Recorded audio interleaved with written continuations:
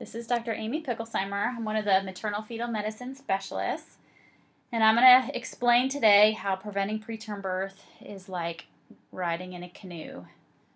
Actually, it's not riding in a canoe at all, it's preventing preterm birth, but I'm going to talk about prevention. So, a great metaphor for prevention is thinking about um, a little man who sets out in a boat, not knowing that just down the river is a giant waterfall with uh, at the bottom sharp rocks that could that could hurt him.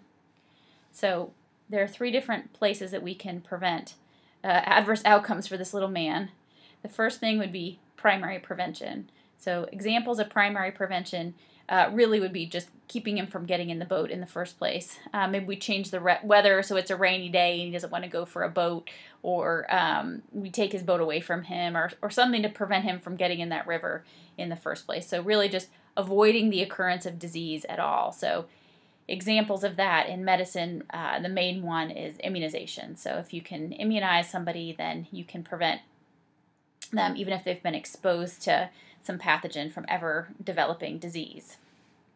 So the second place that we can um, work to prevent this little guy um, from smashing into the rocks is once he's in the boat and heading down the river, uh, we can do something to um, save him before um, disaster strikes. So this is secondary prevention, which is really looking at detecting disease prior to the onset of symptoms. So, saving him somehow before he hits the waterfall. Uh, that may be throwing him a rope or shouting to him from the bank, um, but anything that really keeps him from um, going over the edge uh, are things that would be considered secondary prevention. So, examples of secondary prevention in medicine uh, would be pap smears and mammograms in maternal in um, OBGYN. And the last place that we can uh, work to um, make things better uh, would be thir- tertiary prevention.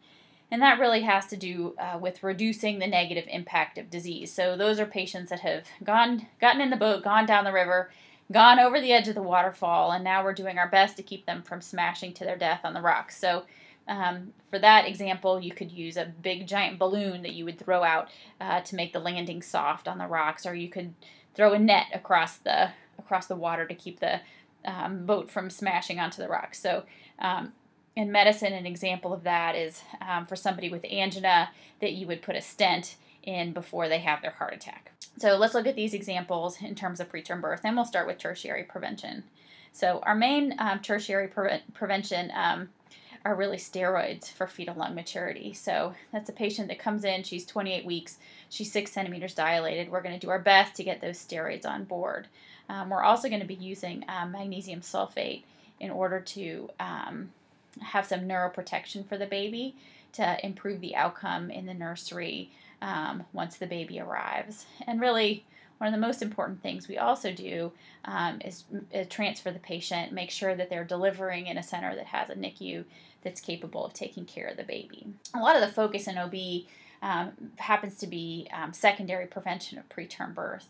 So this would be um, ultrasound um, for cervical length. And those may be even in asymptomatic patients or anybody who um, may be having symptoms. Either one, we can look at their their length on, on um, ultrasound, which may change before we can appreciate a change clinically with just a vaginal exam. For women that we find a short cervix, we can use progesterone um, vaginally in order to prevent um, further cervical shortening. Uh, this category of secondary prevention, really all tocolysis really falls in, in here. Although most of the reason that we tocolyze patients are really to give time for these steroids to become mature, sometimes we can't stop this process of preterm labor before the um, baby's delivered, or um, the metaphor would be that you know we smash on the rock. So before we end in our delivery, um, sometimes tocolysis is um, successful in um, reducing preterm birth. Some of the things that have not shown successful for secondary prevention, but are still sort of widely used, would be um, bed rest um, and hydration for patients. Finally, the last category um, is primary prevention of preterm birth. And sort of sadly, there's not a lot of things in this category. Um, we do have cerclage. that you can use in a patient that has a history of um, a previous preterm birth or cervical incompetence to prevent that in a secondary in a second follow-up pregnancy. Cerclage actually also falls here under secondary prevention because it's something you can use um, together with a ultrasound finding of a shortened cervical length.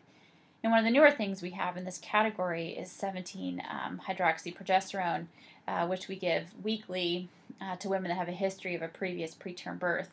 And beginning that treatment prior to 16 weeks gestational age has been shown to reduce the risk for a subsequent preterm birth by about 30%. So, this is really a very valuable new therapy that we have um, to help with primary prevention of preterm birth.